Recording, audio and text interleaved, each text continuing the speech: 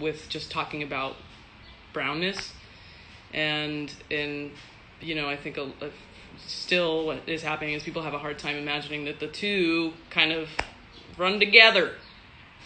Um, and so yeah, I think a lot of people for the first time are seeing themselves. I mean, I can't imagine being. I saw the show actually. I can't imagine, but I was not in the first season. You guys know this, um, and I just remember watching the show and being like, "Holy shit!" Like, yeah, there's never, there never has been someone who's characters that are brown and gay and don't have to say it in every single sentence that they're on screen. You know, like it's it's it's really cool to I don't know to be a part of this and to have people see themselves for the first time if it is the first time. Um, yeah. Oh, I gotta click on another question. uh-huh. Hmm. Um.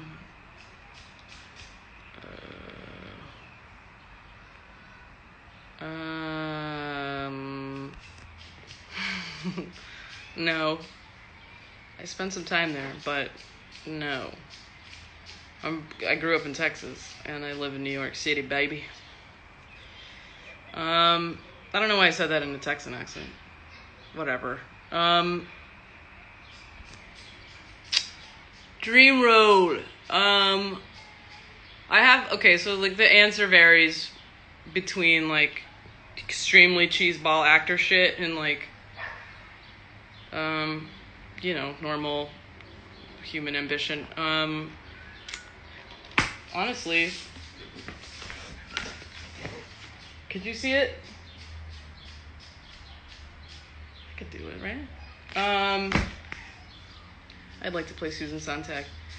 If we could all just ignore that she's not a, a Latin person, we'd we could really get somewhere. Um, um, but then, like I said, the the nerdy theater dork inside of me, deep, deep, deep inside of me, and also on the surface of me, is uh, playing Mercutio. Duh. Um, hi Tanya, where you been at? I kind of want to see some of these. I kind of want to look at what y'all are asking on here. Thank you. Um, I, I yes, Susan Sontag. Sí, se habla tus followers Latinx un poco en español. Sí, claro que se puede hablar en, en castellano con los fans del show. ¿Qué quieren saber? Hola. Um, quiero preguntas.